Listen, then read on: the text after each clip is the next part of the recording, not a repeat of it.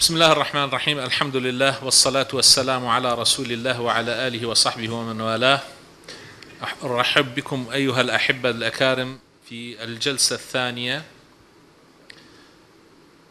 أن الحديث في علم المقاصد وإعمالها هي صحوة من العقل المسلم وعودة بمناهج تفسير النصوص والاجتهاد إلى أصولها التي سار عليها علماء الأمة والسلف الصالح. وتعد دراسة المقاصد من الأمور المهمة حيث إن علوم الشريعة لا تقف عند جزئيات الشريعة بل ينفذ منها إلى كلياتها وأهدافها في كل جوانب الحياة. فهو يبرز الغاية بالمقاصد والغاية التي خلقنا الله تعالى من أجلها وتحقيق تلك الغاية. وجعلوا لهذه المقاصد وسائل لتحقيقها على أرض الواقع وتقوم بدورها في إصلاح الفرد والأسرة والمجتمع والأمة في الدارين الدنيا والآخرة. يقول الإمام الجويني رحمه الله تعالى من لم يتفطن لوقوع المقاصد في الأوامر والنواهي فليس على بصيرة في وضع الشريعة وهي قبلة المجتهدين. من توجه إليها من أي جهة أصاب الحق دائما. يشكل الثنائي المعرفي علم المقاصد وعلم أصول الفقه نسقا علميا منسجما يصعب التفريق بينهما من حيث الاشتغال العلمي والتطبيق التنزيلي. إن السياسة الشرعية أو الفقه السياسي احتل ركنا أصيلا في مقاصد الشريعة وأصول الفقه وليس بدعة معاصرة لا دخل للإسلام فيها. من هنا تنبع أهمية هذا المحور وهو المحور الثاني من ندوتنا من مؤتمرنا الذي سيتكلم فيه الباحثون تحت عنوان علاقة علم علم المقاصد بعلمي أصول الفقه والسياسة الشرعية. ونبتدئ ببحث المصلحة هي الأصل. للدكتور أحمد كافي ممثل المنتدى العالمي للوسطية في المغرب. أمامك خمسة عشر دقيقة وكذلك باقي الباحثين أخوان. تفضل أستاذنا. بسم الله الرحمن الرحيم الحمد لله والصلاة والسلام على رسول الله وآله والصحابة ومن والاه ثم أما بعد استثمارا للوقت لا بد وأن أبدأ بالسريع إن شاء الله تعالى في هذا الوقت المسموح به ولا بد من أن نؤكد أن مقاصد الشريعة الإسلامية كما أجمع أهل العلم عليها هي جلب وضرء هي دفع ونفع وغيرها من المصطلحات التي تؤكد على مباغي الشريعة ومقاصدها التي هي الالتفات إلى المصالح والبحث عنها والاستكتار منها واستكمالها والبحث عن نقيضها وهي المفاسد والبحث عن كيفية إبعادها ومحقها ودرئها وكل ما يبعد أثرها على الإنسان فردا كان أو مجتمعا. الآن أريد أن أتحدث عن تلكم القاعدة الشائعة عند علماء المقاصد وعند علماء أصول الفقه والمعتنين بالقواعد الفقهية وهي قاعدة درء المفسدة مقدم على جلب المصلحة وهي قاعدة صحيحة سليمة لا اعتراض عليها. وإنما أريد أن أتحدث عن اعتراض شرعي من المتشرعين ومن مجموعة من أهل العلم على على هذا الأصل الذي ذهبوا إليه مذهبا بعيدا وهو التقديم. هل يعني الإشكال هو هل درء المفسدة مقدم على جلب المصلحة؟ كما قد نرى إن شاء الله تعالى في الأشباه وفي كتب المقاصد وفي كتب يعني القواعد تجدون هذا الكلام الذي يتكرر أن ضاء المفسدة أولى أي أن الأولوية دائما وأبدا هي لهذه المفسدة. كلما وجدنا هذه المفسدة إلا وغلبناها وأعطينا الحكم لها على سائر الأمور الأخرى وإن كانت هناك مصالح. واستشهدوا لذلك بقول النبي عليه الصلاة والسلام وعللوا التعليل. لماذا؟ قالوا لأن اعتناء الشارع بالمنهيات أشد من اعتنائه بالمأمورات. والدليل هو إذا أمرتكم بأمر فأتوا منه ما استطعتم وإذا نهيتكم عن شيء فاجتنبوه إلى إضافة إلى مجموعة من الأدلة الكثيرة. فإذا بحثي وخلاصة ما سأعرضه عليكم هل ضرء المفسدة هي الأولى؟ وهل أن الشارع اعتنى بالمنهيات أشد وأكثر من المأمورات ولهذا الحديث يسعف في هذه القضية. ثم وردت هذه يعني هذه القاعدة بصيغ متعددة في كتب القواعد درء المفاسد أو لا إبطال المصلحة لإعمال المفسدة أو لا وغيرها من هذه الأمور. ولا بد من أن نؤكد بأن المصالح هي تلك الأوامر. عندما يتحدث العلماء عن الأوامر يقصدون المصالح وعندما يتحدثون عن النواهي يقصدون يقصدون هذه المفاسد. فحديثهم عن هذه هو حديث عن الأخرى بالضرورة وبالضبط. ولذلك قال القرافي فإن أوامر الشرع تتبع المصالح أي أن الأوامر دائما تابعة للمصالح والنواهي تابعة للمفاسد وإنما قلت هذا الكلام لأن القاعدة يتحدث لأن اعتناء الشارع بالمنهيات أشد من اعتنائه بالمأمورات. حتى نرى بأن ليس هناك يعني تناقض ما بين الأمر والمصلحة وما بين النهي والمفسدة بل هما آه، وجهان لعملة واحدة. فإذا أنا أريد أن أتحدث عن هذا الأصل. والذي أريد أن أؤكد عليه هو نقيض ما يذكرونه وأن الأصل هو المصلحة وليس المفسدة كما قد ذكروا وأن قولهم أن الشارع اعتنى بالمنهيات أكثر من اعتناء بالمأمورات غير صحيح بل إن الشارع اعتنى بالمأمورات أكثر وأشد من يعني من المنهيات وأن الحديث الذي استدلوا به وغيره من الأحاديث الأخرى يعني الآيات القرآنية لا تفيد في هذا إطلاقا.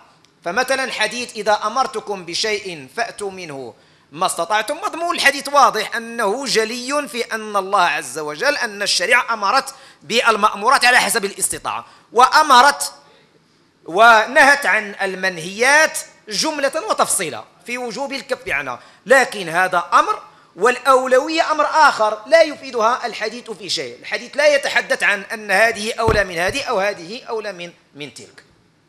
فإذا أين هي الأولية في النص الحديثي لا توجد في هذا النص. وإنما أردت أن أذكر أن الأصل هو المصلحة وليست المفسدة لأنه وقعت إساءات. وعندي مجموعة من الفتاوى في كثير من الاختيارات السياسية الاقتصادية الفنية العسكرية. سأحاول فقط أن أذكر بعضها دون أن أتعرض لمظانها لكي أؤكد أن هذا الذهاب إلى هذا الأمر. كان منطقيا عند هؤلاء الذين قالوا إن درء المفسدة مقدم على جلب المصلحة وقد وقعت فيها الإساءات وهناك خطورة كما قد فمثلا ترك القضاء في مجموعة من الفتاوى والنوازل ترك بالإضافة إلى أنه ورع ولكن لأن حديث النبي عليه الصلاة والسلام القائل بأن قاضيين في النار وقاض في الجنة يستوجب أن الإنسان ينبغي أن يدفع عنه هذه المفسدة ولا يذهب إلى هذا الأمر كما بين الإمام الشاطبي وسنأتي إليه إن شاء الله تعالى في هذه الأبواب. لكن لما اكتوى الناس بضرر الفرار من القضاء لما اكتووا وأرادوا أن يلجوه ولم يعد العمل على تلك القاعدة التي بدأوا بها. وجدوا أن الأبواب موصلة. وهذا أيضا في السياسة الشرعية وفي الأحزاب وفي المؤسسات وفي مجموعة من القضايا. كان البداية هي الاعتماد على هذه القاعدة. ثم اكتووا بنار.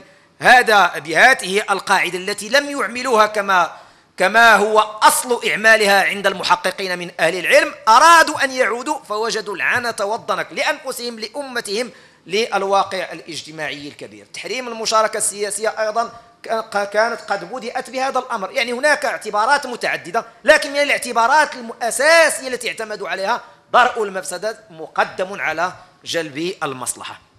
المشاركة في جيش يحارب المسلمين أيضا في أحداث الحادي عشر ووقعت يعني لخبطة كبيرة وإرهاب شديد على النفوس ودر يعني واستفتي العلماء من طرف الأمريكيين الذين يعملون في في الجيش الأمريكي. هل يجوز للجندي الأمريكي الذي يعمل في الجيش الأمريكي أن يقاتل إخوانه المسلمين؟ وكانت الفتاوى التي لا تزالوا تذكرونها إذا كنتم تذكرون أنه جلب يعني درء المفسدة مقدم على جلب المصلحة وبالتالي على المسلم الأمريكي أن يشارك وأن يخفف ما استطاع من آثار هذه المشاركة.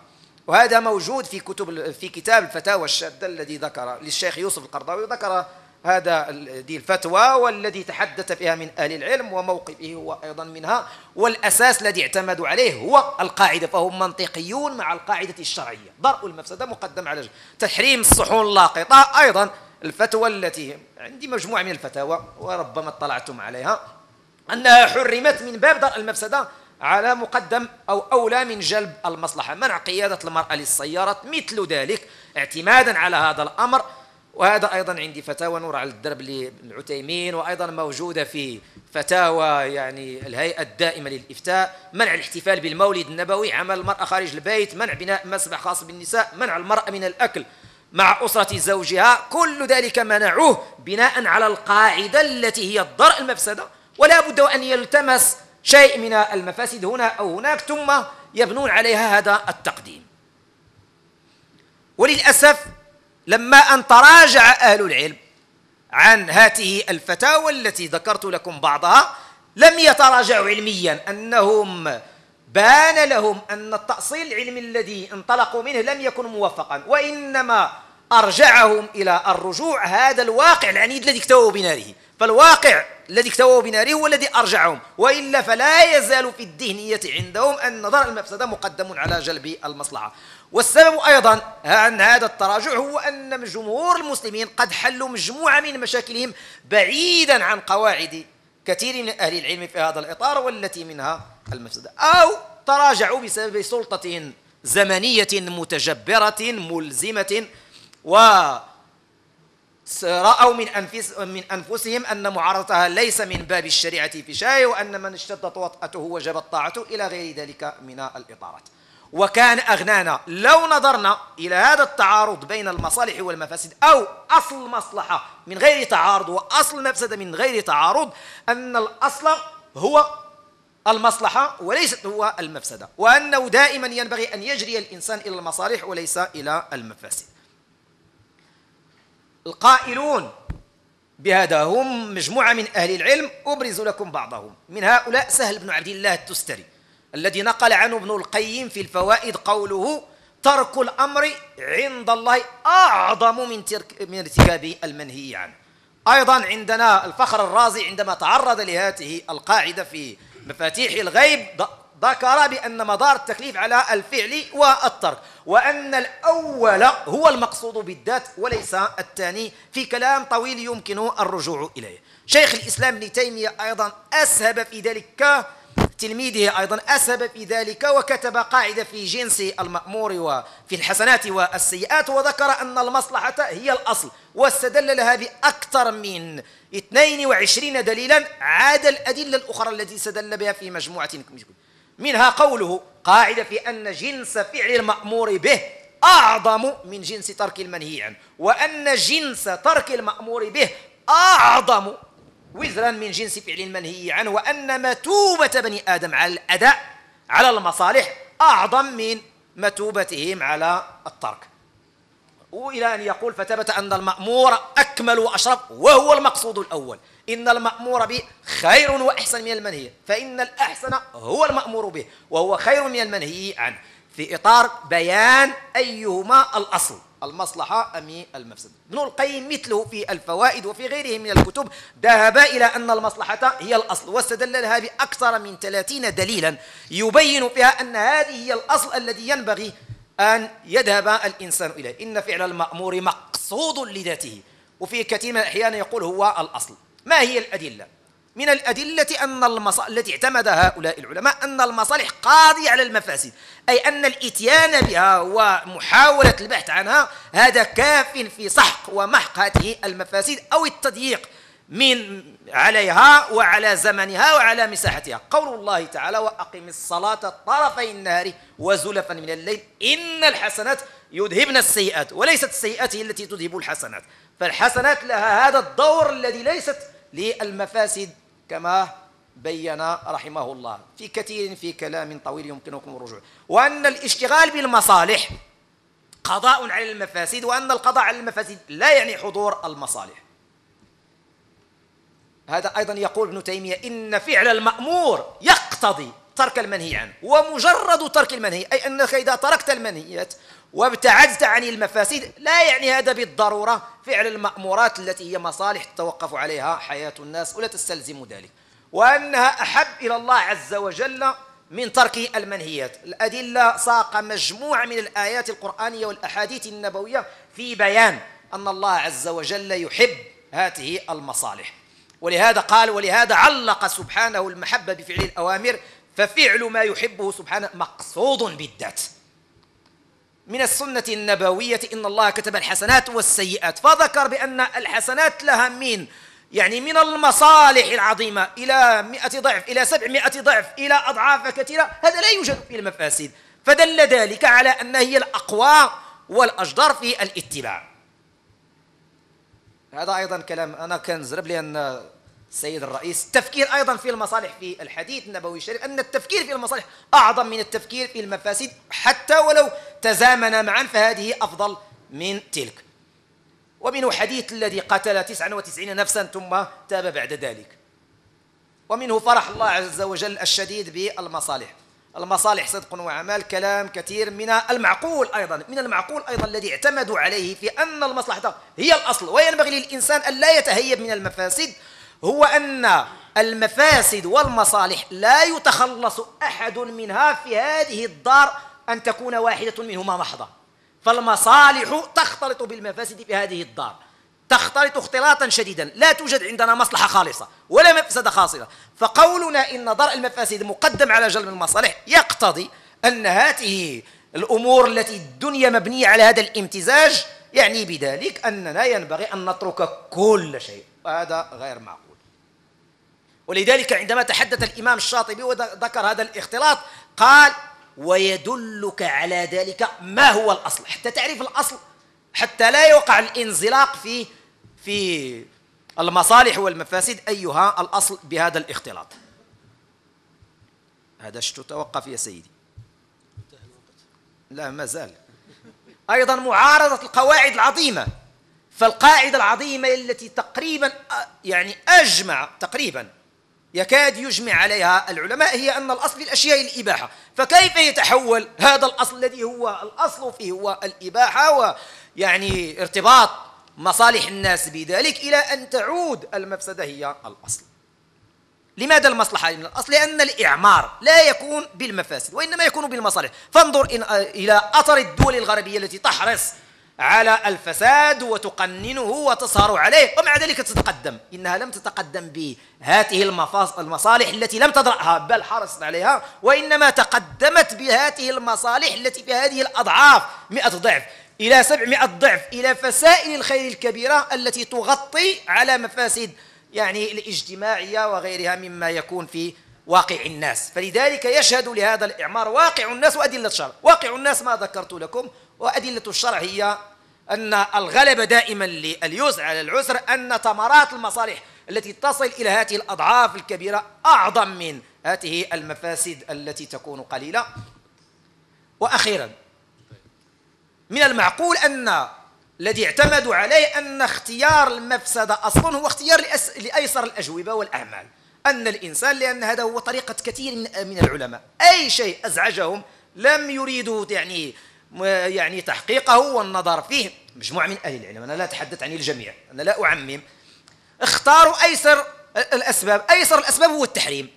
أيسر الأسباب عند كثير من الفقهاء هو التحريم. سكر الباب ويرتاح. لكن عندما تقول بالمصلحة تقول بالعلية تقول بالإباحة تحتاج إلى بذل الجهد إلى توسعة هذا الوعاء إلى إخراج هذه المصالح من بين الفرط والدم إلى الإكثار من البدائل التي يبحث عنها الناس. أخيرا نعطيها نص ليذكر فيه ابن تيمية رحمه الله أن اعتبار المفسدة أصل هذا مما يجب التوبة منه.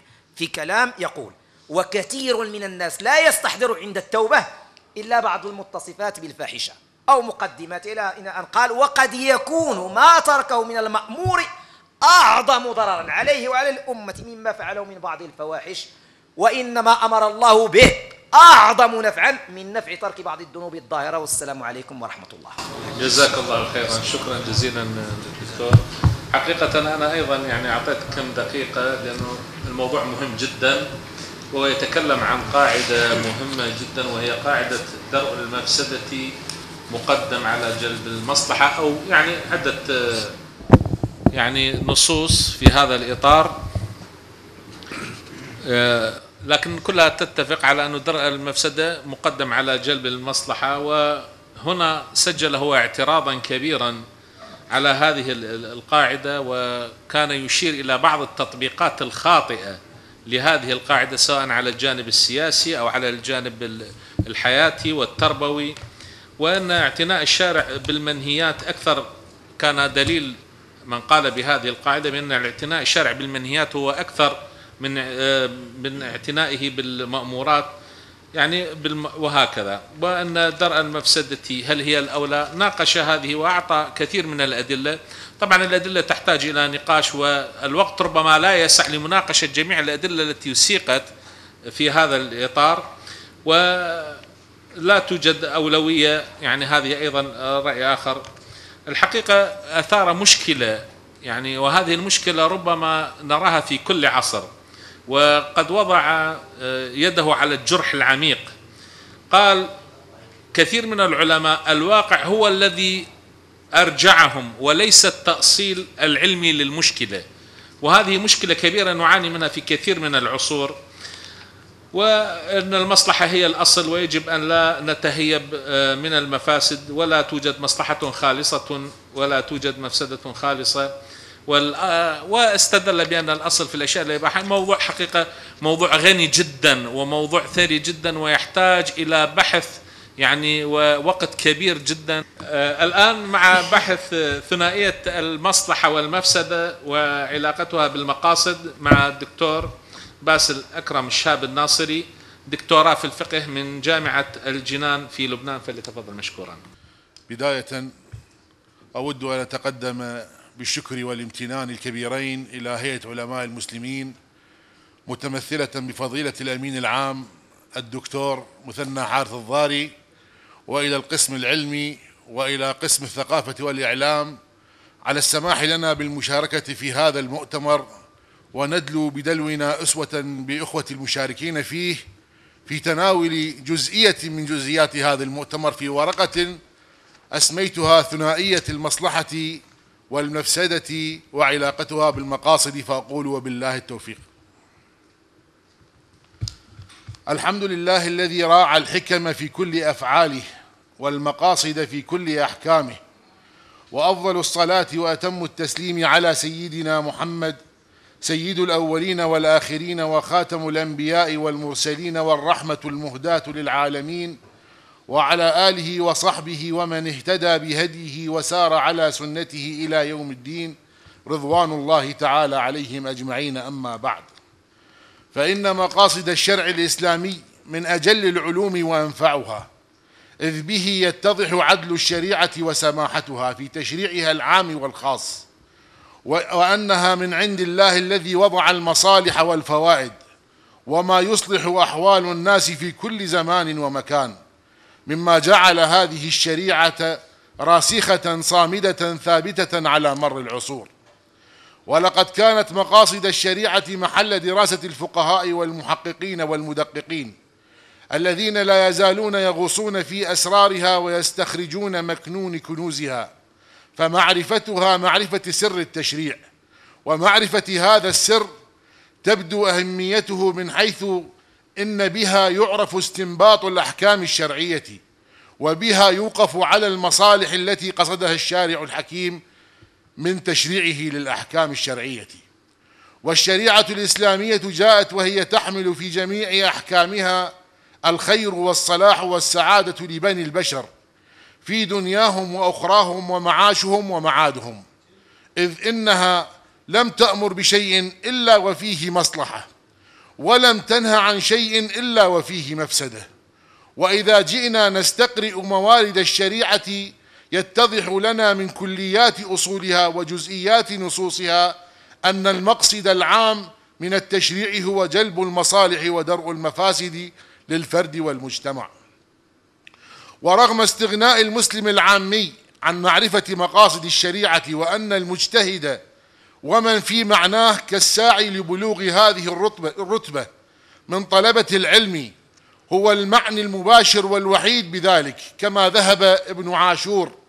إلا أنه لا يمنع من أن الحاجة إلى هذا العلم للمسلم العامي لزيادة إيمانه لأنه يرسخ في النفس حكمة الله تعالى وأنه يزيد الاعتزاز بالشرع الحكيم.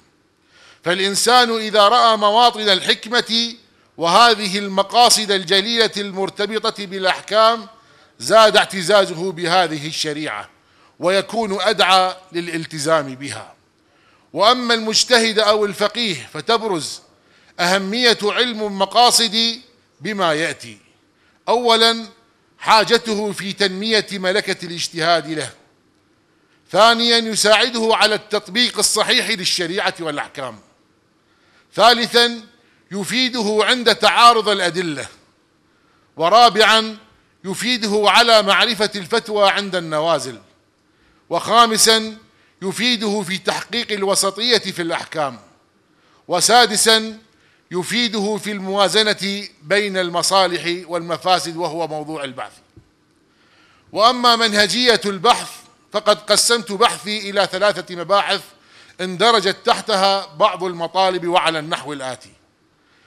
فالمبحث الأول تكلمت فيه عن المصالح وتعريف المصالح وأقسام المصالح وسقت في تعريف المصالح أهم تعاريف العلماء لمعنى المصالح.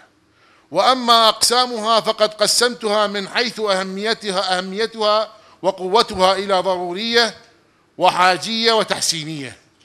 وأما من حيث العموم والخصوص فقد قسمت إلى خاصة وعامة.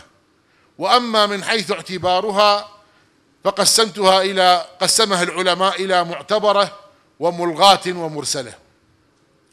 وتكلمت المبحث الثاني عن المفاسد تعريف المفاسد لغة واصطلاحا وكذلك ذكرت أهم تعريفات العلماء للمفسدة. وكذلك في المطلب الثاني تكلمت عن رتب المفاسد وكيفية الكشف عن المفسدة. وطرق الكشف أيها الإخوة يتم بمعرفة مصادر التشريع الإسلامي الرئيسية والفرعية. والمبحث الثالث والأخير تكلمت فيه عن المقاصد وقد تضمن المطالب الآتية. المطلب الأول عرفت المصالح تعريف المصالح وسقت أهم تعريف العلماء الأولين والمعاصرين لمعنى المقاصد عفوا المبحث المطلب الأول تعريف المقاصد لغة واصطلاحا وسقت أهم التعاريف لأهم العلماء الأقدمين والمعاصرين لمعنى المقاصد. وقد أجمعت جميع التعاريف بأنها بمعنى الحكم والمعاني أو الأغراض والغايات. وتكلمت في المطلب الثاني عن فلسفة نظرية المقاصد الشرعية. فالمقصد العام للتشريع هو حفظ نظام الأمة واستدامة صلاحه. وتكلمت في المطلب الثالث الفهم المقاصدي للنصوص الشرعية في ضوء المصلحة والمفسدة. والمطلب الرابع تكلمت في كيفية الموازنة بين المفسدة والمصلحة.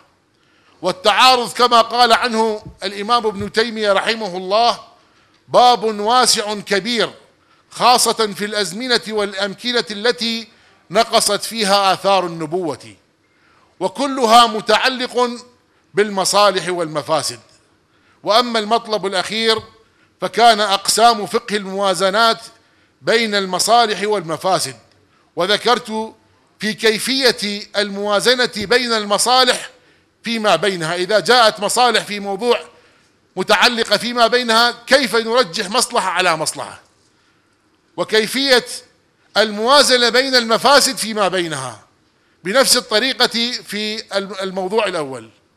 والنقطة الأخيرة الموازنة بين المصالح والمفاسد إذا جاءت في موضوع واحد.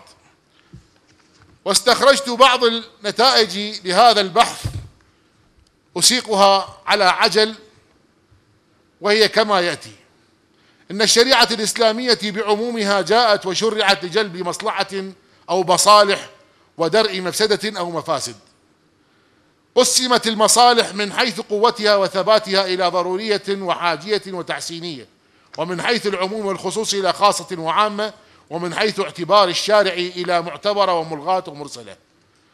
من شروط اعتبار المصلحة هي اندراجها تحت مقاصد الشريعة. عموم تعريف العلماء لمقاصد الشرع بأنها المصالح التي تعود على العباد في دنياهم وأخراهم سواء كان تحصيلها عن طريق جلب المنافع أو عن طريق دفع المضار. المقاصد والمصالح كما ذكر زميلي الدكتور وجهان لحقيقة واحدة. من أهم الشروط من أهم شروط من يبلغ درجة الاجتهاد والفتيا إلمامه التام بمقاصد الشرع على كمالها والتمكن من الاستنباط بناء على فهمه فيها. الحاجة إلى معرفة المقاصد عامة وخاصة فالعامة لزيادة الإيمان واليقين بشرع الله والاعتزاز بدين الله. وأما الخاصة فهي للمجتهد فمعرفة مقاصد الشرع يعطيه إمكانية الموازنة بين المصالح والمفاسد. إذا تعارضت مصلحتين قدمت أكبرهما وأصلحهما على الأخرى. وإذا تعارضت مفسدتين حاولنا درءهما وإلا قدمت المفسدة العظمى على الدنيا. وفي حالة تعارض المفسدة والمصلحة يقدم درء المفاسد على جلب المصالح كما ذكر زميلي في القاعدة. وفي حالة تعارض مصلحة راجحة كبيرة على مفسدة قليلة قدمت المصلحة على المفسدة وأكتفي بهذا القدر. وشكرا لاستماعكم أعزائي وبارك الله بالجميع. شكرا جزيلا دكتور باسل على هذا الوقت الذي تقيد به دون إشارات كثيرة يعني. الآن مع بحث ثنائية المصالح والمفاسد وعلاقتها بالمقاصد للدكتور فالح إبراهيم عبود تدريسي في كلية الإمام الأعظم في العراق. فليتفضل مشكورا. بسم الله الرحمن الرحيم. الحمد لله الذي بنعمته تتم الصالحات. الحمد لله الذي برحمته تتنزل البركات. الحمد لله الذي بتوفيقه تتحقق المقاصد والغايات. لي الشرف المروم بلق بلقيا إخوتي. جاءوا زفافات لنصرة أمتي لهم من القلب الحنون أرق تحيتي. السلام عليكم ورحمة الله وبركاته. إخواني هذا البحر الطامي هذا البحر الذي لا نهاية له بل المحيط المترامي علم المقاصد. قرأنا فيه ما قرأنا واطلعنا, واطلعنا على علوم ثرة ربما لا نجدها في سواه. إن مما تعلمون ومما قرأت اسم كتاب معروف مشهور لإمام المقاصد والمنظر الأول للمقاصد للإمام الجويني المتوفى سنة ثمان وسبعين وأربعمائة للهجرة رحمة الله عليه وعلى سائر آه، علماء المسلمين. هذا الكتاب تعرفونه؟ اسمه غياث الأمم في التياس الظلم. ماذا أريد من هذا الكتاب؟ أريد أن أقول لكم أنتم هذه الثلة أنتم الأزاهير أنتم البركة فيكم وعليكم وعلى عواتقكم تحمل مهام هذه الأمة وهمومها فأنتم الغياث. لئن كان الجويني في ذلكم القرن الخامس يقول هذه العبارة غياث الأمم في التياث الظلم. في زماننا ماذا نقول؟ ماذا عسى أن نقول؟ فإن شاء الله هذا الكتاب الذي اختصره بعض العلماء فقالوا الغياثي إن شاء الله هو يكون نبراسا من النباريس التي تنور لنا طريق العلم. إخوتي سمعت ما سمعت والحمد لله. المقاصد. كل من تحدث تقريبا يجمع هو وغيره على أن المقاصد هي المصالح بعينه. لا. أنا أخالف في ذلك. ولو أنا من أنا أنا ابن لبون أنا ابن لبون لا ضرع فيحلب ولا ظهر فيركب ولكن ندلو بدلونا إخواني الأعزاء المقاصد شجرة والمصالح ثمرة كيف؟ لأننا إذا عممنا وقلنا المصالح هي المقاصد والمقاصد هي المصالح عبادة الله هل هي مصالح؟ هل الله عز وجل يحق لنا أن نقول في حقه له مصلحة فيما خلق أو فيما أنزل؟ له مقصد. المقصد أعلى من من من المصلحة. المصلحة منفعة. المصلحة منفعة بينما المقصد يعني يجر وراءه خير. كثير ومعاني سوامي كثيرة. لذلك يعني آه، كما قال الجويني ومن لم يتفطن لوقوع المقاصد الشرعية في الأوامر والنواهي فهو ليس على بال أو بصيرة في الشريعة أو وقوع الشريعة. هذا كلام عظيم.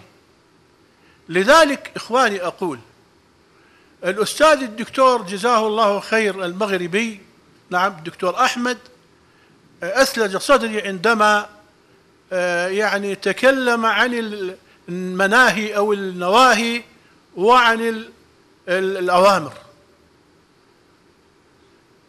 إخواني الأعزاء كثير منا يقول المصالح هي جملة الأوامر. لا. المصالح هي جملة الأوامر والنواهي لأنك عندما تنهى عن شيء وقد أخذ بنهيك أليس في أليس في ذلك تحقق مصلحة؟ في يعني في في في المنتهي عن عن المنهي؟ مصلحة سواء لذلك قول الله عز وجل الجامع المانع الفذ في ثاني آية من سورة المائدة. وتعاونوا على البر والتقوى ولا تعاونوا على الإثم والعدوان. هذه الآية ذات المساحة البسيطة لكنها تحمل كل معاني المصالح والمفاسد أو المناهي والأوامر. فالبر باب واسع ينضوي تحت لوائه كل الأوامر. و ولا تعاون هذا النهي تندرج تحته جميع جميع المناهي التي نهى عنها الشرع. هذا جانب يا إخواني. الجانب الآخر أسمع وأقرأ. أنهم يقسمون المصالح الم... عفوا يقسمون المصالح عفوا أعتذر جدا أنا أكره من يخطأ بالنحو الحقيقة ولا يصوب. يقسمون المصالح إلى ثلاثة أقسام معتبرة وملغاة ومسكوت. عنه في باب القياس أو في باب الاستصلاح. زين. كلمة ملغاة. الله أثبت لها واقع. تتخذون منها سكرا ورزقا حسنا. ورزقا حسنا. يسألونك عن الخمر والميسر. قل فيهما إثم كبير ومنافع للناس. الله عز وجل ما ألغى ذلك. لذلك إخواني أنا أقول يعني العلم ليس وقفا على أحد أبدا. الإمام رحمه الله الإمام النحوي الكبير في كتاب التسهيل ابن مالك يقول إذا كانت العلوم منحا إلهية ومواهب اختصاصية فليس غريبا أن يدخر للمتأخرين كثير مما عسر عسر على المتقدمين. هذا العلم ليس وقف على الأقدمين ولا هو حكر على ولا هو حكر عليهم. فإذا أنا أقول من الأوفق أن نغير كلمة ملغاة إلى غير معتبر يعني يصير عندنا مصالح معتبرة وهي التي ثبتت في النصوص القطعية نعم وحتى ولو الظنية والغير معتبرة هي التي يعني نهى عنها الشارع كالربا أو كما تعلمون أو الخمر إلى آخره. فالأفضل كلمة ملغاة لا. والملغاة يعني تلغى نهائيا بينما غير معتبرة لا ورد فيها ثم عطل العمل لما تتحقق فيها من مفاسد. نأتي إخواني إلى المصلحة والمفسدة الذي هو موضوعنا. المصالح. وهذا أؤكد عليه كل التأكيد. لما تتحقق المصالح ولما تدرأ المفاسد هو اولا لماذا استعمل أهل الفقه أصول الفقه أو أهل المقال لماذا استعملوا كلمة درء؟ صحيح يعني قد يستعملون آه، مصطلحات أخرى استجلاب أو جلب أو دفع. لكن المصطلح المعول عليه درء المفاسد. لماذا؟ اسمعوا إخواني. اللغة العربية لا ترادف فيها. دليل. اللغة العربية ألفاظها كل لفظ له سلم خاص.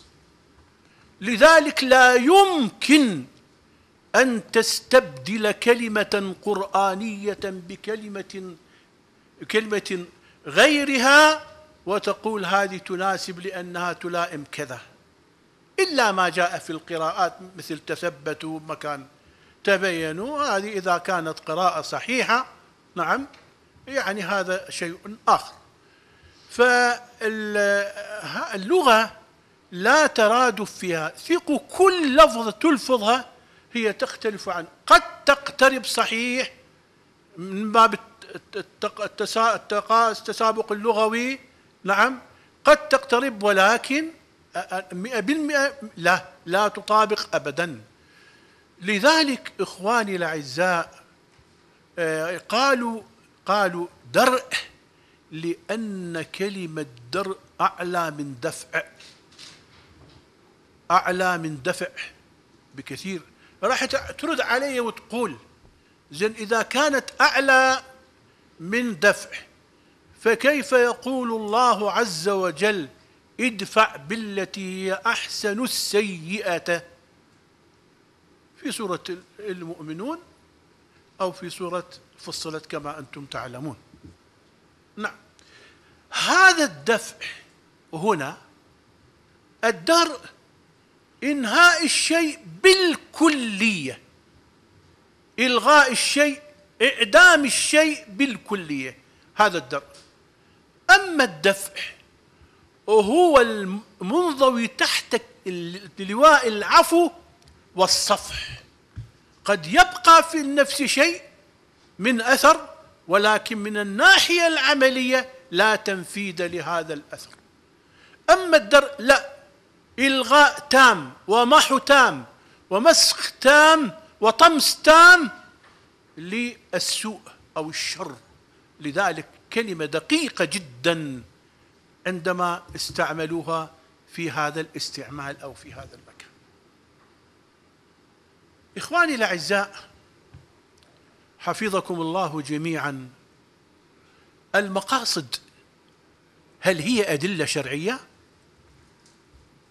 لا يمكن أن يقول أن يقول قائل بهذا القول المقاصد ليست أدلة شرعية هل هي أحكام شرعية؟ ولا إذا هي ماذا؟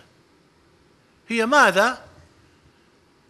المقاصد الشرعية هي حكم الأحكام هي حكم الأحكام زين وبعد. ويستأنس بها في الاجتهاد أو في القياس أو في القياس وفي صدد ذكر القياس. أقرأ كثير يا إخواني وأتعجب أنه تجد المقاصد في باب القياس. ذكرها الجويني رحمه الله في في المباح نعم في من كتابه البرهان. زين عندما تكلم عن المناسب المرسل. زين الإنسان الضعيف بالعلم لما يسمع أن المقاصد لا توجد إلا هنا كيف هذا؟ يعني أليست النصوص الشرعية فيها مقاصد؟ يعني عندما يقول الله عز وجل في الدليل القطعي وما خلقت الجن والإنس إلا ليعبدون. هذا المقصد أو المقصد يعني هذا موجود في المرسل في المناسب المرسل. يجب أن نحدد يا إخوان المقاصد منتشرة منتشرة شا منبثة شائعة في النصوص الناصعة نصوص الشريعة الثابت منها. إخواني الأعزاء نريد أن نستثمر جلساتنا هذه. فأقول لأهل الدعوة وأنتم على هرمها على رأس الهرم. أقول يجب أن نقدم الإسلام للعالم منهجا ربانيا هاديا للزمان وللعصر وللإنسان منفتحا على الاجتهاد والتجديد مستلهما للماضي معايشا للحاضر مستشرفا للمستقبل جامعا بين الأصول والكليات. جامعا بين الأصول والكليات. بعد ذلك متطور في الوسائل والآليات محافظا على الغايات منفتحا على الحضارات دون ذوبان أؤكد دون ذوبان. دون ذوبان. النفس المسلمة الشخصية المسلمة لا تذوب في حضارات العالم. إنما تستفيد انفتاح على الحضارات دون ذوبان ورعاية للخصوصية دون انغلاق. وبعد. وكذلك وكذلك مبشرا يعني الإسلام بالدعوة. ميسرا للفتوى. هكذا يجب أن نفهم الإسلام وآخر ما أريد أن أقوله أما التقسيمات والقضايا الفنية في البحث فسيعرض عليكم إن شاء الله وسينشر إن كان له توفيق في النشر وستطلعون على ذلك. لكن هذه خلجات وهذه خطرات أرجو أنه يعني قد استقبلتموها. إخواني آخر ما أريد أن أقول رجاء نعم أو الإمام الشافعي يقول نعم رحمه الله عليهم يعني يقول قالوا يزورك أحمد وتزوره قلت المكارم لا تفارق داره. أنتم كذلك المكان لا تفارق دارك بارك الله بكم هذه الدقيقة إخواني. للشباب الفائر الثائر المندفع المتدفق أقول لهم شريعة شريعتنا امتدت طولا حتى شملت آباد الزمن وامتدت عرضا حتى حتى انتظمت آفاق الأمم وامتدت عمقا حتى شملت شؤون الدنيا والآخرة. فشريعتنا قولا واحدا واجماعا قائما شريعتنا صالحة لكل زمان ومكان لا تضيق برخص ابن عباس ولا بعزائم ابن عمر ولا بفقه الحنفي رحمة الله عليهم ولا بأ- بأثرية ابن حنبل ولا ولا ولا ولا بمقاصد الشاطبي ولا بحكم الجنيد أو ابن عطاء السكندري ولا باجتهادات ابن ابن تيمية رحمهم الله جميعا فكلهم آخذ من رشف الرسول صلى الله تعالى عليه وسلم غرفا من البحر أو رشفا من الديم. والسلام عليكم ورحمة الله وبركاته. جزاك الله خيرا دكتور فالح على هذا التقديم الرائع وحقيقة فيه إثراء كبير. وطبعا يعني غالب المختصرات لا تفي يعني ولكن إن شاء الله عندما يطبع البحث ستطلعون على تفاصيل البحث. أثار كثير من المسائل المهمة جدا وفيها توصيات أيضا مهمة جدا وكانت هناك التفاتة لطيفة جدا. يعني وكنا يعني عندما نقرأ في كتب ال- الأصول والتقسيمات المصالح المرسلة والملغاة والمعتبرة ففعلا أنه من الناحية المنطقية أنه مصالح غير معتبرة هي أولى من مصالح ملغاة. استنادا إلى ما ذهب إليه. على أقل تقدير هذا رأيي يعني الذي أتبناه أنا ولكم الحق في أن تقولوا شيئا آخر. وأيضا آه، كانت التفاتة جميلة جدا في سبب أنه القاعدة جاءت على درء المفاسد بدل دفع. يعني أيضا بين هذه وطبعا هذه الالتفاتات الجميلة يعني دائما يعني نراها من أستاذنا دكتور فالح. الآن إخواني الأكارم مع البحث ال- الثالث الرابع عفوا في هذه الجلسة آه، وهي آه، أثر مقاصد الشريعة في فتح الذرائع وتطبيقاتها للدكتورة شيماء علي حميد دكتوراه في أصول الفقه الإسلامي من كلية العلوم الإسلامية جامعة بغداد آه، يلقيه سيلقيه نيابة عنها الدكتور مزر الفهداوي فليتفضل مشكورا. بسم الله الرحمن الرحيم. الحمد لله رب العالمين. وبه نستعين وهو خير معين. والصلاة والسلام على سيدنا محمد خير خلق الله أجمعين. اللهم فصل وسلم على النبي الرسول الكريم. الداعي إلى الخير الأعظم. الذي بعثته في الأميين رسولا منهم يتلو عليهم آياتك. ويزكيهم ويعلمهم الكتاب والحكمة وإن كانوا من قبل لفي ضلال مبين. وبارك عليه وعلى آله وصحبه أجمعين. وبعد. فالمقاصد الشرعية هي الغايات التي وضعت الشريعة لأجل تحقيقها لمصلحة العباد أو هي المعاني والحكم الملحوظة للشارع في جميع أحوال التشريع أو معظمها. بحيث لا تختص ملاحظتها بالكون في نوع خاص من الأحكام الشرعية.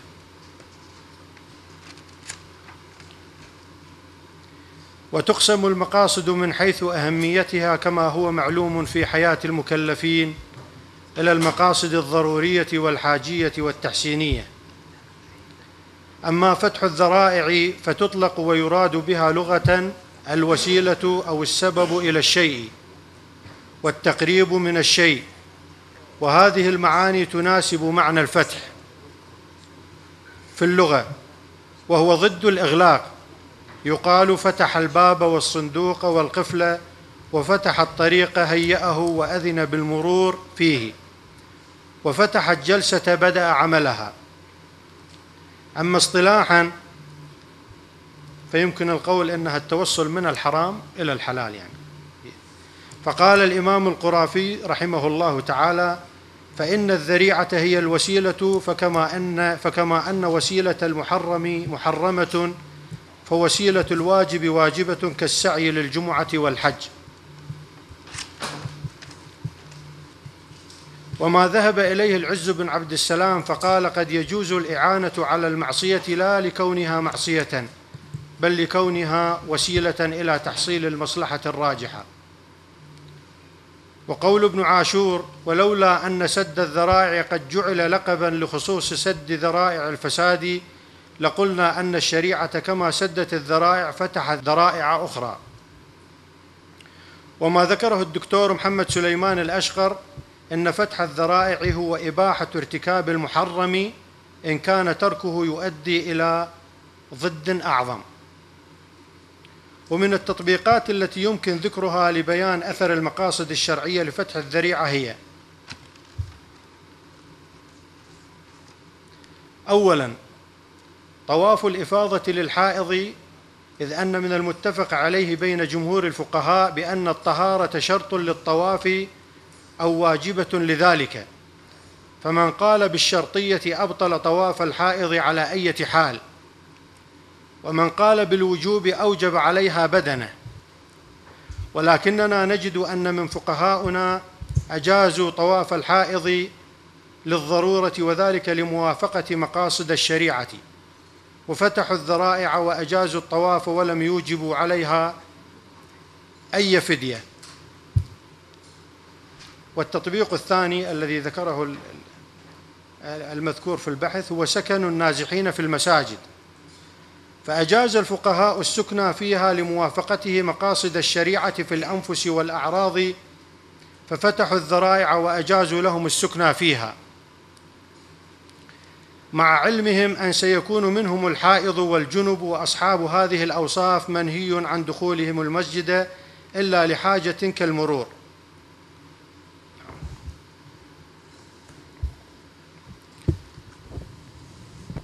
طبعا وأبين في هذه الخاتمة بعض التوصيات التي آه، أوصى بها البحث وهي أولا أن بين علم مقاصد الشريعة وعلم أصول الفقه عموم وخصوص من وجه وهو تحقيق مصلحة العباد في الدارين. وثانيا إن لمقاصد الشريعة علاقة بالأدلة الأصولية المختلف فيها كفتح الذرائع وذلك من خلال تحقيق المصلحة بفتح الذريعة سواء سواء كانت جلب مصلحة أو دفع مفسدة.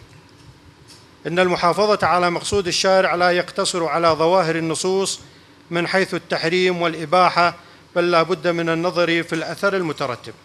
وأكتفي بهذا القدر. والسلام عليكم ورحمة الله تعالى وبركاته.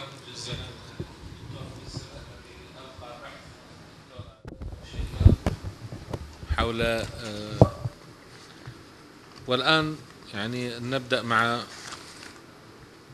المحور الأخير في هذه الجلسة آه، وهي قراءة قراءة في في المصادر الأولى للمقاصد الشرعية كتاب محاسن الشريعة للقفال الشاشي الكبير أنموذجا للشيخ عمار عبد الكريم عودة ماجستير في السياسة الشرعية وطالب دكتوراه في كلية الشريعة في الجامعة الأردنية فليتفضل مشكورا. بسم الله الرحمن الرحيم. أتقدم بالشكر الجزيل لهيئة علماء المسلمين وللقسم العلمي وقسم الإعلام وللهيئة عموما وعلى رأسها الأستاذ الدكتور مثنى حارث الضاري على إتاحة هذه الفرصة لي. أقول الحمد لله رب العالمين والصلاة والسلام على سيدنا محمد وعلى آله وصحبه أجمعين. فإن موضوع المقاصد من أهم وأجل الموضوعات التي يعرف بها مراد الشارع الحكيم.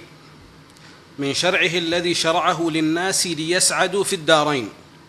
وقد ألفت في هذا الموضوع كتب كثيرة وكذلك أغفلت كتب لم ينتبه كثير من طلبة العلم الشرعي إلى أهميتها وفائدتها وما تحتوي من علم غزير. وأخص بالذكر الكتب المتقدمة في مجال المقاصد والتي ألفت بوقت مبكر قبل نضوج مفهوم المقاصد ومنها كتاب محاسن الشريعة للقفال الشاشي الكبير الذي قد يكون من أول الكتب المتخصصة في هذا الفن من علوم الشريعة. ولذلك نجد أن علماء الأمة اهتموا اهتماما بالغا بمقاصد الشريعة وتبيين مصلحة العباد في الدارين مما شرعه الله سبحانه وتعالى لهم من أحكام. ومن أوائل العلماء الذين ألفوا في مقاصد الشريعة بشكل واضح هو الإمام القفال الشاشي الكبير رحمه الله وهو من أعلام علماء الأمة المعروفين عاش في القرن الرابع الهجري وله جهد علمي كبير وهو يعتبر من أبرز علماء الشريعة في ذلك الشافعية في ذلك الزمان. وصاحب المؤلفات العديدة والمشهورة ومن أبرزها هذا الكتاب كتاب محاسن الشريعة الذي يعد من المصادر الأولى لعلم المقاصد ولبنة رئيسية فيه إلى جنب قلة من علماء الأصول ممن عني بهذا الموضوع في تلك المرحلة المتقدمة. وبالنظر في كتاب محاسن الشريعة نعرف أن الغرض من تأليفه هو إظهار محاسن الشريعة والرد على الفرق الضالة التي لا تعي الحكمة والمقصد من الأحكام الشرعية. طبعا في زمن القفال ظهرت فرق من ضمنها مثلا الإسماعيلية وغيرهم. إن وافق الشرع عقولهم أخذوا به. الحكم الشرعي إن وافق أخذوا وإن لم يوافق لم يأخذوا وسببوا إشكالات كبيرة فكان في رد في هذا الكتاب رد من القفال عليهم. وبناء على مقترح أحد الفضلاء لا أخفي عليكم الدكتور مثنى جزاه الله خيرا. أشار علي بدراسة هذا الكتاب ليتضح لي أولا ولطلبة العلم أهمية هذا الكتاب من الناحية التاريخية من لأنه كتاب متقدم جدا في مقاصد الشريعة. ويأتي هذا البحث بعنوان قراءة في المصادر الأولى. للمقاصد الشرعية كتاب محاسن الشريعة للقفال الشاشي الكبير أنموذجا ليعطي صورة عن مقاصد الشريعة من خلال كتاب المحاسن وهو كتاب فقهي على مذهب الإمام الشافعي تعرض فيه القفال للأحكام الفقهية على أبواب الفقه مع بيان المقاصد من هذه الأحكام التي شرعها الله سبحانه وتعالى لعباده. وقد قسمت البحث إلى مبحثين المبحث الأول وفيه أربعة مطالب. المطلب الأول التعريف بالقفال الشاشي والمطلب الثاني آثاره العلمية والمطلب الثالث سبب تأليف كتاب محاسن الشريعة والمطلب الرابع موقع الكتاب من مصادر التشريع الإسلامي. والمبحث الثاني وفيه ثلاثة مطالب. المطلب الأول تحسين الشرائع على الإجمال القفال بدأ في كتابه ذكر تحسين الشرائع على الإجمال ثم على التفصيل. والمطلب الثاني تحسين الشرائع على التفصيل والمطلب الثالث نماذج من كلام الشاشي عن المقاصد في أبواب الفقه. وقد اعتنى البحث ببيان كلام الشاشي عن تحسين الشرائع على الإجمال وإيضاح وجهة نظره في هذا الموضوع كما بينها هو في مقدمة كتابه التي خصصها للحديث عن فكرة الكتاب ومفهوم تحسين الشرائع وصلته بالعلل الشرعية والمقاصد. ومن ثم تناول البحث طريقة الشاشي في تفصيل موضوع تحسين الشرائع. على التفصيل من إيراد نماذج من حديث من حديثه عن مقصد الشارع من الأحكام الشرعية. بحسب الأبواب الفقهية وبواقع أربعة عشر مثالا مختارا من الأبواب الفقهية التي تناولها في الكتاب. وفيما يأتي عرض من أبواب متفرقة من الكتاب اخترت بعض النماذج بس لشرح كيف يعالج. طبعا القفال الشاشي في الكتاب لا يقول مقصد الشارع أو قصد الشارع غالبا يقول المعنى مثلا المعنى في الصلاة كذا الم... ويأتي المعنى في الصوم كذا فيقول المعنى يعني ويقصد مقصد الشارع من تشريع مثلا الصلاة على سبيل المثال. فذكرت في المثال الأول عن الصلاة حيث بين الصلاة فيها معنى التذلل له سبحانه وتعالى.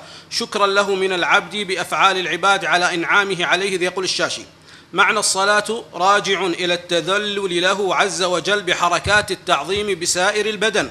شكرا له بالفعل على ابتداء ابتداء به بالإنعام على المصلي لأن خلقه على الصورة التي تصلح للتكليف وتركيبه الفعل فيه والقوة التي يقع بها الاختبار وإحضار يناله ما يلزمه من الشكر للمنعم على جواز استنداب المنعم وإلى آخر ما قال أن العبد يصلي لله بجوارحه والأفعال التي يقوم بها والكلام الذي يقول كله هو لشكر المنعم جل وعلا.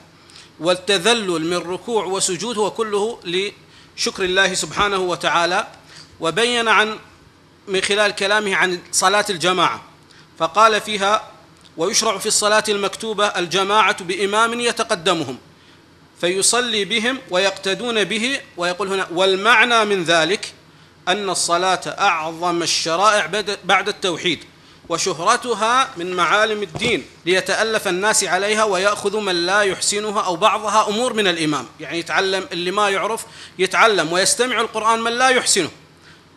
وهكذا. إذن صلاة الجماعة الفائدة منها اجتماع الناس وتعلمهم من الإمام ما لا يعرفونه ويتعلم من لا يحسن القرآن أيضا من الإمام. اخترت هنا هنا أيضا من العبادات كتاب الصوم لقرب شهر رمضان. ذكر رحمه الله في كتاب الصوم أن المقصد منه هو التذلل لله بكسر النفس وانقطاعها عن ملذات الحياة. وقد حصل يقول هو وقد حصل ما تقدم ذكره أن الوجه في الصوم هو التذلل التذلل له بكسر النفس وقمعها عن الملذات. وفي ذلك الانقطاع عن الدنيا إلى الله وبأنه إنما خص به هذا الشهر بفضله بإنزال القرآن فيه. ولله تعالى أن يفضل من الشهور ما شاء كما يفضل بين العباد والأماكن والبيوت. والمثال الآخر هو عن الجهاد حيث بين الإمام القفال مقصد الشارع من الجهاد في كتاب الجهاد فقال والجهاد مما فرض الله على عباده وشرعه لهم وأكد عليهم الأمر فيه ووعد بأليم العقاب على تركه. وحقيقة معناه ما قال المقصد منه قال وحقيقة معناه استيفاء الإنسان وسعه في إقامة الحق والدعاء إليه والردع على الخلاف له وهو داخل في جملة الأمر بالمعروف والنهي عن المنكر والأخذ على أيدي الظلمة. والمنع من الفساد في الأرض. وهذا أمر متى أهمل القيام به؟ تهارج الناس وتظالموا وتفاسدوا وتغاصبوا الأموال والحرم وتواثبوا عليها. ثم تكلم رحمه الله عن النكاح. فقال إن الحاجة إلى النكاح ضرورية. من جهة أن يقال العالم إنما هو بالتناسل والتوالد إذ لا يتوهم للدنيا التي جعلها دار محنة فلا بقاء ولا ثبات إلا بها. وسبيل هذا في انقسامه وتنوعه سبيل المطاعم والمشارب فمن مباح ومحظور ومحرم ومحلل. وقد ذكرنا هذا الانقسام وتكلم كلام عن أن الدنيا النكاح لا تقوم الدنيا إلا به ولا يتكاثر الناس. فبالنتيجة هو سبب لوجود هذه الدنيا. المثال الخامس تحدث رحمه الله في كتاب الفراض عن كسب المال وأن الإنسان يشقى لجمع المال والمال ينفعه بعد وفاته يسد الدين ولتجهيزه وأمور أخرى. باختصار فكرته يقول يعني أنه لو أن الإنسان تعب في الدنيا وجمع هذا المال ثم ذهب إلى الغرباء لم يحصل على شيء ولكن عندما يصل إلى أقربائه يكون الإنسان مطمئن أنه بعد جمع المال حتى وإن مات فهو باق في ذريته وتطمئن إليه النفس فجعل الله سبحانه وتعالى الميراث لتطمئن نفس الناس ويتراحموا وتقوى أواصر الرحمة والمحبة فيما بينهم. وختم البحث بتوصية مهمة تتعلق بالاهتمام بكتب الأئمة المتقدمين والبحث فيها. حقيقة كتاب القفال الشاشي قبل أن أبدأ سألني الدكتور أحمد قال هل هناك تحقيق جيد؟ حقيقة لا يوجد تحقيق جيد. التحقيق يعني في بعض الأحيان عندما تقرأ كلام حتى لا يفهم غير مترابط بسبب التحقيق. وذكر آه، الريسوني ذكر أن هناك تحقيق لم يظهر إلى الآن. يذكر أنه فلان صديق آه، للريسوني آه، يقوم بتحقيق الكتاب وإن شاء الله يظهر بشكل جيد. حتى الطبع أحد العلماء يقول أن دار الكتب العلمية عندما طبعت الكتاب أساءت للكتاب. أكثر مما نفعت. هناك طبعة ثانية لدار الفاروق ولكن أيضا طبعة ضعيفة. نسأل الله أن يظهر طبع جيد لهذا الكتاب وهو الكتاب من أوائل الكتب. ربما في الموثق لدينا في الكتب لم يسبقه إلا الحكيم الترمذي ثم القفال الشاشي ثم آه، ابن بابويه القمي وسارت المقاصد إلى أن جاء الشاطبي وظهرت بهذا المظهر الكبير. هذا والحمد لله رب العالمين. والسلام عليكم ورحمة الله وبركاته. والآن معي آه، مداخلات يعني إخوان طلبوا المداخلة على بعض الأمور. الأولى وصلتني آه، حول تداخل على مع البحث اللي الدكتور أحمد كافي ومع الدكتور آه، فالح لفضيلة الشيخ الدكتور مثنى حارث الضاري فليتفضل مشكورا. الأستاذ الدكتور أحمد كافي بارك الله فيه. كان بحثا مميزا بكل ما لهذه الكلمة من معنى وفيه قدر كبير من الجرأة. والصراحة والوضوح ومحاولة آه، إحياء حالة النقد داخل هذا العلم علم أصول الفقه والمقاصد منه تحديدا. وهذه الجرأة مطلوبة ولعل أن الجلسة الأولى أيضا كان فيها هذا القدر من الطرح الجديد والطرح المتنوع. وهذا هو هدف هكذا مؤتمرات. نسعى من خلالها إلى اكتشاف آفاق جديدة والوقوف على معلومات جديدة ووجهات نظر جديدة تثري العلوم جميعا ولا سيما العلم الذي نجتمع الآن من أجله وهو علم المقاصد. هذه الجرأة في الطرح قد تجلب على الدكتور أحمد وعلى أمثاله الكثير من المداخلات والنقد ولا سيما في الدارسين للمقاصد أو الذين يبتدئون دراسة المقاصد الآن. لأن دراسة المقاصد قطعت شوطا كبيرا قد لا يكون بالضرورة متساويا في جميع بلادنا المسلمة والعربية. الدرس المغربي لموضوع المقاصد متقدم على الدرس المشرقي وهذه حقيقة ينبغي الاعتراف بها. ومن هنا أردنا أن نحيي هذا الدرس في المشرق عندنا. أيضا كانت هناك حيادية في الأمثلة. عندما طرح الأمثلة على التراجع عن بعض المواقف الشرعية نتيجة الضغوط المجتمعية والسياسية جاء بأمثلة كثيرة. قسم منها قد يبدو ظاهرا متعارض. وهذا دليل على أن هناك حيادية في اختيار الأمثلة وأنه ينتقد الحالة ينتقد الطريقة ينتقد ما آل إليه الموقف وليس الأمثلة تحديدا. وأضرب مثل هنا بالمولد النبوي. ليس من قصد الدكتور أحمد هنا هو هكذا أفهم أنه يبحث موضوع شرعية وعدم شرعية المولد. هذه قصة أخرى. ولكنه ينتقد النهي عن الاحتفال بالمولد درءا للمفسدة ثم العودة إلى إباحة ذلك. على أي أصل قامت؟ على دليل شرعي في المرة الأولى وعلى دليل شرعي في المرة الثانية أم العكس؟ بالنسبة لموضوع تقديم المصلحة أو جلب المصلحة على درء المفسدة. يفهم من هذا بأن هذه القاعدة ليست مضطردة بل حتى ليست أغلبية بالقدر والمدى الذي نتوقعه. وقد يثار اعتراض هنا بأن هذه القاعدة توافق عليها العلماء ولا يشفع لها الاستدلالات والأمثلة الكثيرة التي جاء بها من شيخ الإسلام ابن تيمية وابن قيم الجوزية وغيرهم. مع أني أميل إلى هذا الرأي ولكن أقول يمكن معالجة هذا الموضوع بطريقة أخرى. أن درء المفسدة في الأصل هو جلب مصلحة. يمكن أن يحل الإشكال بهذه المقاربة بهذه الطريقة لأن الأصل هو جلب المصالح وليس درء المفاسد. بمعنى أن الانتقاد هنا لجهد بشري لجهد علمي لعلمائنا المتقدمين في تقرير هذه القاعدة ولا ضير في ذلك. لأنه ليس انتقادا للشريعة ولا انتقاد للفقه الإسلامي ولا انتقاد للنصوص التي هي عماد هذا التشريع وعماد هذا الفقه. فإذا هذه القاعدة كانت في مرحلة فكرية ما طاغية لأسباب لظروف طبيعية سياسية آه، ظروف خاصة بالعلماء في ذلك الوقت. ولكن يمكن أن نقارب الموضوع بإقرارها على ما هي عليه ومن ثم القول بأنه في زماننا يمكن أن يعاد النظر بهذا الموضوع لتشجيع الناس على فعل الأوامر لأنها هي المقصود الأسمى والأفضل والمقدم. حتى لا ندخل في مشاحنات وردود لأنه للأسف ساحة البحث العلمي بشكل عام وفي باب المقاصد تشهد أحيانا الكثير من هذه الأشياء بسبب عدم تحرير محل النزاع أو عدم تحرير محل قصد القاصد من عبارته.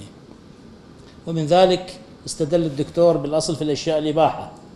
وهذا الأمر كما يعلم كلكم تعلمون أنه ليس مطلقا وإنما هي في العادات والمعاملات وإلا في الأبواب الأخرى ليست كذلك. ولكن استدل بها كما فهمت لأنها تدعم فكانت كأنها شاهد أو اعتبار للأدلة الأخرى.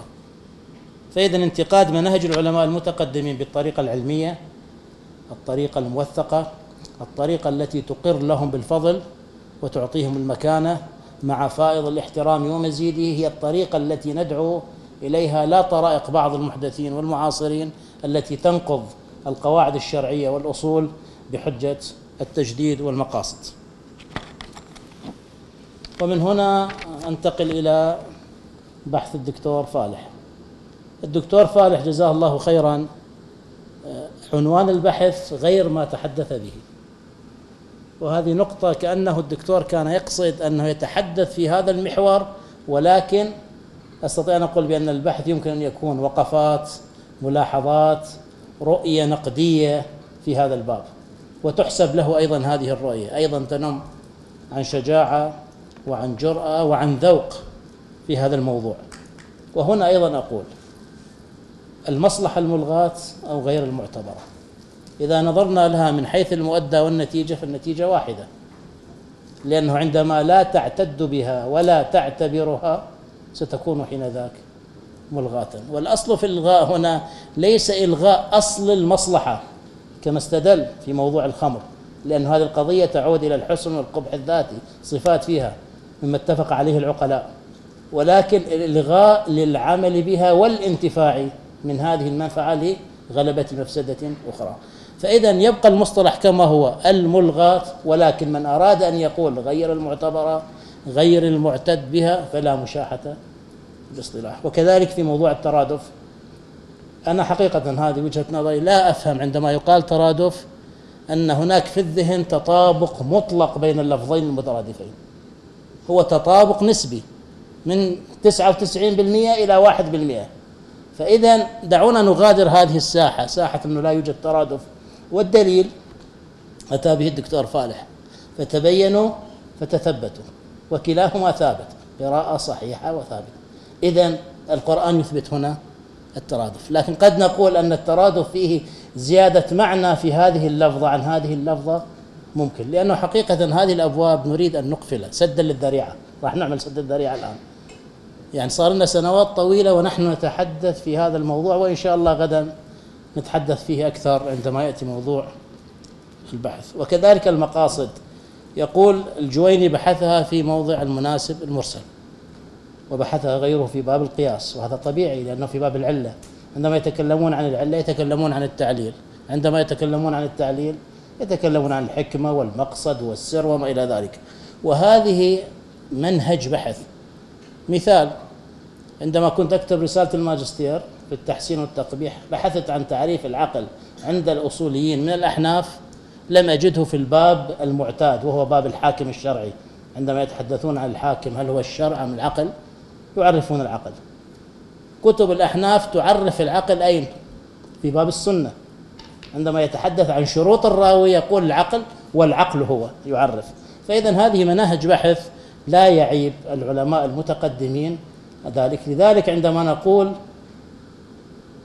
المهتم الأول الباحث الأول أول من اكتشف المقاصد يمكن أن يقال.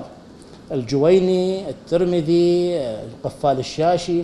لكن عندما نقول تحقيق مفهوم المقاصد مباشرة نذهب إلى من؟ إلى الشاطبي. وفي بحث اعذروني يعني راح أمر على البحوث كلها.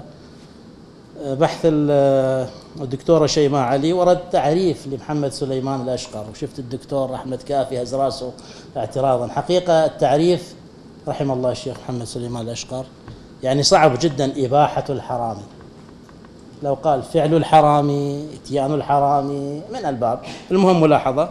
وأخيرا أشار الدكتور عمار في بحثه إلى موضوع الكتب الأولى.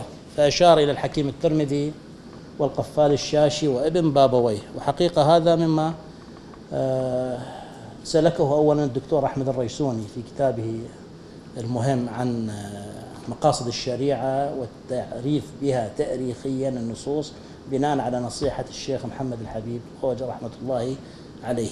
فذكر أن من أوائل من كتب في ذلك ابن بابويه القمي في كتابه علل الشرائع. هناك كتاب مفقود للحكيم الترمذي. عن العلل.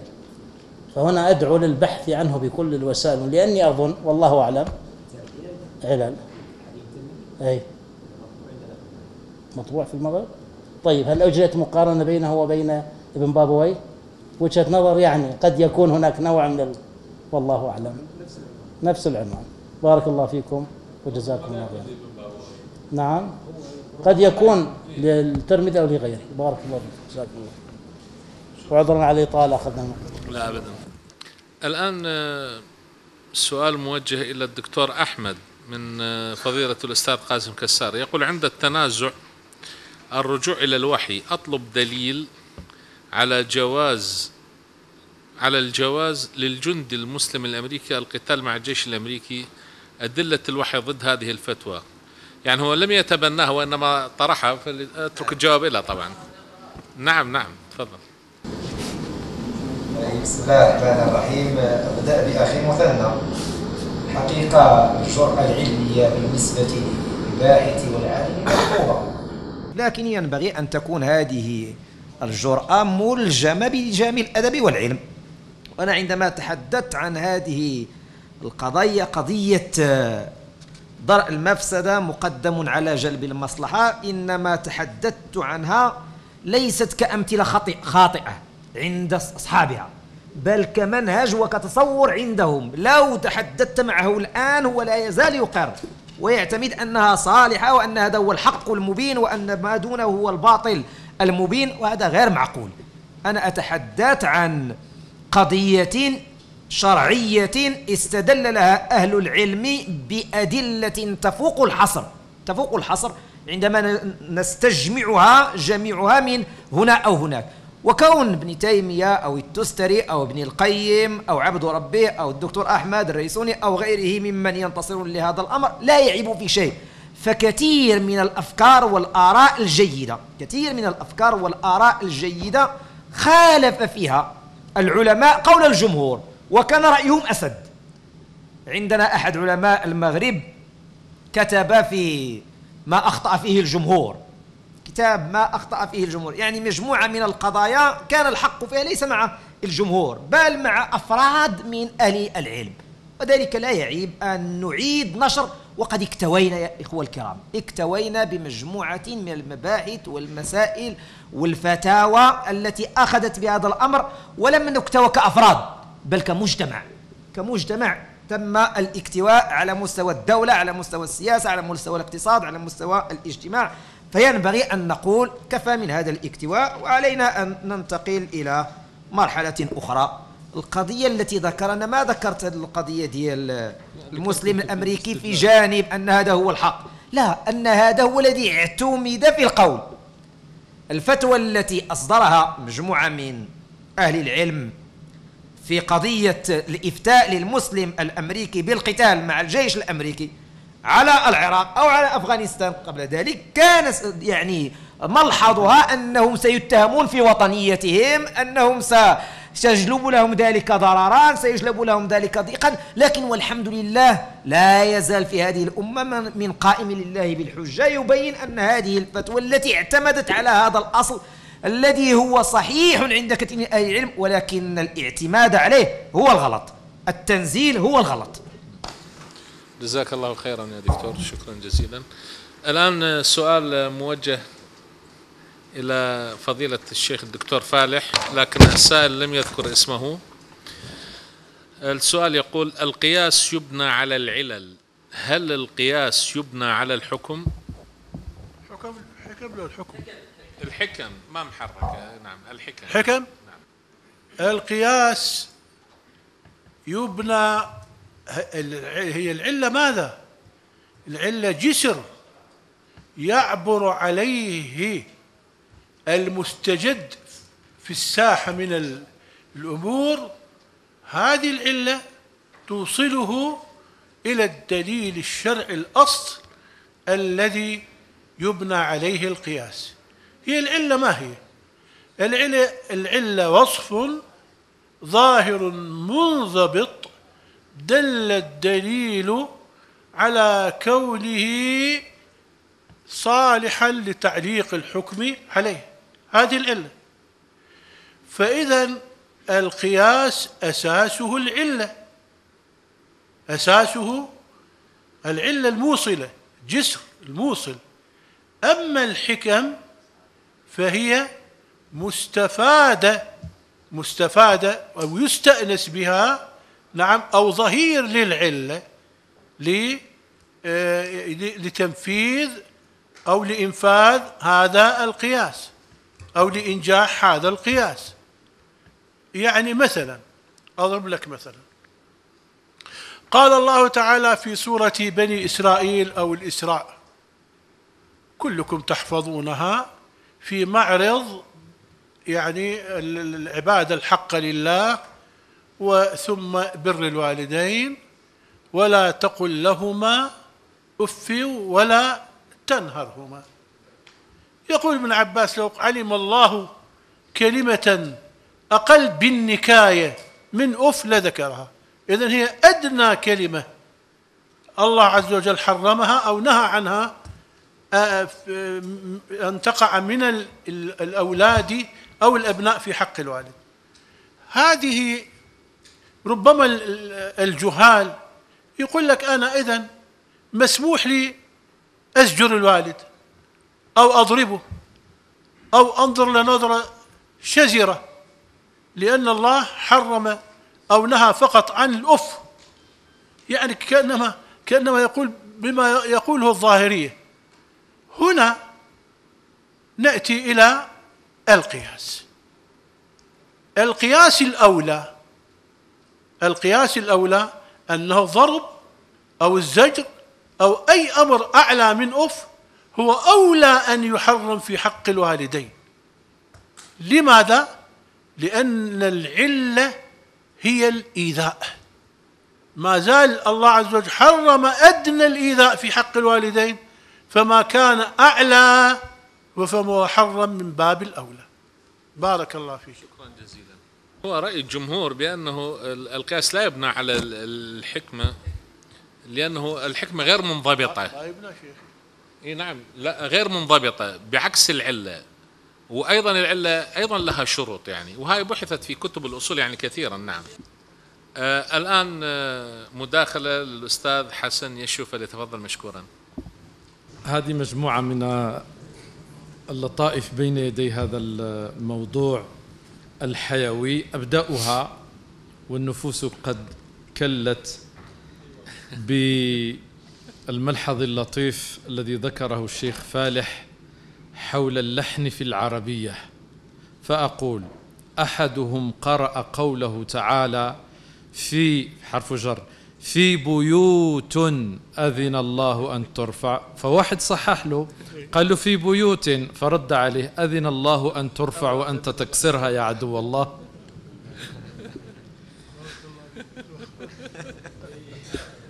بخصوص المقاصد أو المصالح الملغاة قد سبقني فضيلة الشيخ مثنى.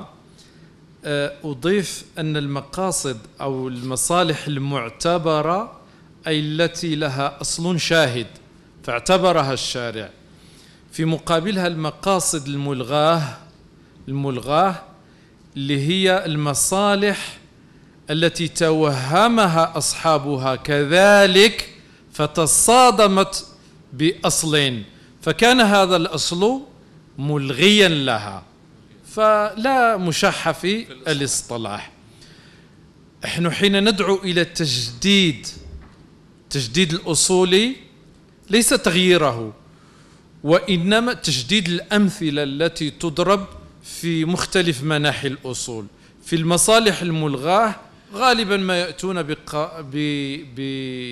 بمثال يحيى بن يحيى الليثي. وكأنه المثال الأوحد في الباب وخلاصته أنه ضيق في أمر جعله الله مخيرا.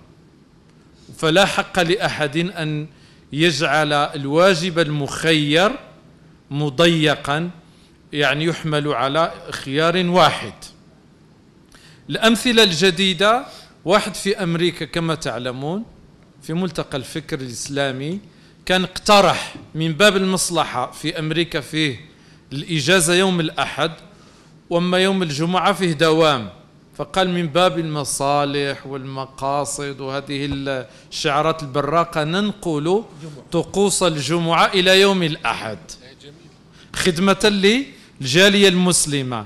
فهذا يتوهم أن المصلحة ها هنا لكن نسي أنه اصطدم بصورة الجمعة. إذا سيسميها صورة الأحد. إذا نودي للصلاة من يوم الجمعة يعني ستصير إذا نودي للصلاة من يوم الأحد. إذا فهي ملغاة بناء على هذا الأصل الذي تصطدم آه، به.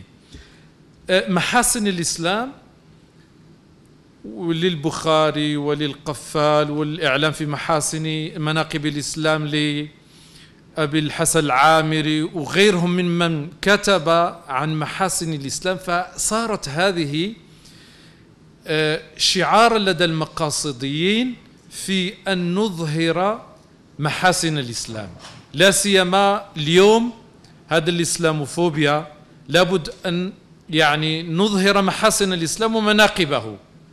فأنا مرة مشيت لأوروبا ألمانيا وكذا فحدي حدثت عن شاب متدين. في هولندا كتب رسالة وترجمت إلى اللغة الهولندية ولست أدري في أهمية ضرب الرجل للمرأة لقوله تعالى ضربوهن. كانوا ما في وفين في هولندا اللي المرأة هي يعني صع يعني وين الإظهار محاسن الإسلام؟ بخصوص الطبعة. آه، إحنا فيه بعض الطبعات آه، اللي ينطبق أنا نقول فيها دائما اللي ينطبق فيها يأكلون التراث أكلا لما يحبون المال حبا جما ويأكلون التراث أكلا لما. آه، بخصوص الإمام الفراهي الذي ذكرته في مقاصد الكلام القرآن. أريد أن ألفت إلى نكتة. آه، الفراهي عنده مفردات القرآن. مفردات القرآن. ليس الراغب الأصفهاني ولا السمين الحلبي من كتب لكن انتبهوا أن الفراهي له مفردات وموجود مطبوع. محمد أجمل أيوبي آه، طبعه مع تقديم يعني طبعة آه، جيدة. آه، تأمل كتاب الله فوجد آلاء كل المفسرين والذين تحدثوا في غريب القرآن ومفردات القرآن. شنو معنى آلاء؟ فبأي آلاء؟ هي النعم صح؟ وهذا الذي انقدح في كل واحد لو سألته لقال الآلاء هي النعم. هو حفر في جذر المصطلح وفي موارده في القرآن فانتهى إلى أن الآلاء في كتاب الله لا تأتي دائما بمعنى النعم.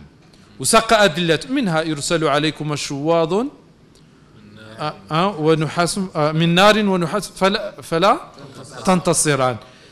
فالشواظ والنار وبعدها يقول فبأي آلاء؟ أي آلاء ونعمة فيه فيتساءل هذا التساؤل في مقاصد الكلام. فرجع إلى الشعر الجاهلي وإلى استعمال العرب فانتهى إلى أن الآلاء هي فعال الله العجيبة. قال ولما كانت أغلب فعال الله العجيبة نعما ظن الناس أن الآلاء هي النعم. إذا حين آه، نمسك هذا المفتاح الآلاء هي فعال الله العجيبة تتسع لمواقع النعمة وتتسع للمواقع التي تأبى أن تكون بمعنى آه، النعمة. آه، في اللغة العربية نحن في حاجة إلى أن نبحث عن المقاصد الجامعة. مثلا صاحب الخصاص بن جني لما تكلم عن كلمة أو الكلمة كلمة بحث وقلبها وجدها تحمل كلها معنى القوة. ملك كلم لكمة ملاكمة هذه أقوى إلى آخره. فالراغب الأصفهاني صاحب المفردات لما يتناول كلمة البر والبر والبر يكتشف المقصد الجامع. ما هو المقصد الجامع؟ هي الساعة. فالبر أوسع أبواب والبر أوسع مكان والبر أوسع ما استعمله الناس. العيش آه تراتبية التنزيل نبحث عن عن عن عن المقاصد فيها. مثلا قوله تعالى هو الذي أرسل رسوله بالهدى ودين الحق ليظهره على الدين كله. إظهار الدين لاحظوا ورد هذا النص في ثلاث صور في ثلاث صور سورة الصف وسورة التوبة وسورة الفتح. لاحظوا المقاصد يعنى بالأسرار والتناسب وكشف الخيوط الخفية بالتدبر. فشنو نهتدي في هذا؟ وهي كلها في نفس الصور. نقول ليظهر الله الدين والتمكين لهذا الدين لا بد من أن نجمع لا بد من أن نتوب إلى الله. التوبة. وأن نجمع الكلمة الصف من أجل الفتح أن يفتح الله علينا. فتحا مبينا. أخيرا آه، لما تحدث عن المصلحة المسكوت عنها وهذا باب أورده الشاطبي رحمة الله عليه. لأن فيه فتنة طلعها بعض الشباب انصافوا العلم معنى كل ما تركه النبي صلى الله عليه وسلم فهو منهي عنه ومن البدع. فأبو إسحاق الشاطبي لما تحدث عن المصلحة وعن المقاصد عامة أردف كتابه اللي هو الموافقات كتابا ثاني اللي هو الاعتصام. ونحن دائما نقول اعتصم يعني بالاعتصام وأنت تقرأ الموافقات. في الاعتصام تحدث عن السنة وعن البدعة وما زال الناس عيالا على الشاطبي في تعريف البدعة طريقة في الدين مخترعة. تضاهي الشرعية يقصد بالسلوك عليها المبالغة في التعبد. يعني تعريف طريقة في الدين أما في الدنيا لا حرج من الإبداع بالمطلوب لكن في الدين الأصل فيه التوقيف والحظر فيما سكت عنه النبي صلى الله عليه وسلم كان مسكوتا عنه ضابط وجود المقتضي أو عدمه. إن وجد إن لم يوجد المقتضي في زمن النبي لا يوجد المقتضي المبرر لظهوره فسكت عنه وظهر المقتضي بعد وفاة النبي صلى الله عليه وسلم يصبح من المصالح. منه جمع القرآن. في زمن النبي صلى الله عليه وسلم لم يكن المقتضي قائما لأن جبريل ينزل والنبي صلى الله عليه وسلم يحسم إذا كان فيه كذا هذه ضعوا آية كذا في كذا. لكن المقتضي يظهر بعد وفاة النبي صلى الله عليه وسلم. فلما استحر القتل في القراء وخشينا من يعني ضياع القرآن والصحف عند آحاد يعني الصحابة. فهنا جاء عمر مندفعا إلى أبي بكر وأبو بكر يعني متردد حتى شرح الله صدره لأن المقتضي ظهر ولما يعني قام بهذا العمل سمي مصلحة. أما لو لم يكن المقتضي أو ما لما لو كان المقتضي موجودا في زمن النبي صلى الله عليه وسلم مثل مثلا صلى الاستسقاء وصلى الاستخارة والحاجة والكسوف. المقتضي لو كان الأذان في هذه الصلوات لقالها أخبر بها النبي صلى الله عليه وسلم والمقتضي لم يكن في مانع. لكن لما سكت النبي وصلى وأعاد وصلى فأي واحد يجي يضيف إلى الصلاة شيئا نقول هذه من البدع. لو كان فيها خير لفعله آه النبي صلى الله عليه وسلم والمقتضي قائم. فلذلك آه البدعة هي أمر محدث على خلاف الأصل. آه، طبعا. بالنسبة للعلة والحكمة كلمة خفيفة. العلة واحدة. يبنى عليها الحكم والحكمة متعددة لأن العلة الواحدة قد نستخرج منها عشرات الأحكام. ابن القيم في مفتاح دار الساعات تحدث عن التعليل في القرآن فقال تجاوز الألف فمثلا السفر علة يبنى عليه الحكم وعندنا يعني نوط الحكم بالسفر نص في الكتاب وفي السنة يبنى عليه. لكن الحكمة يعني وجود المشقة وما أدري إيش السفر وقطعة من العذاب هذه لا يناط بها الحكم. وإلا لو لقصرنا الصلاة وإحنا عندنا تعب ما وقد نجد التعب في بيوتنا أكثر مما نجده في السفر. لا سيما الطائرة فيها مكيف وبيوتنا ليس فيها يعني مك... إلى فالحكم دائما يبنى على آه، العلة أكتفي بهذا القدر. شكرا جزيلا دكتور حسن.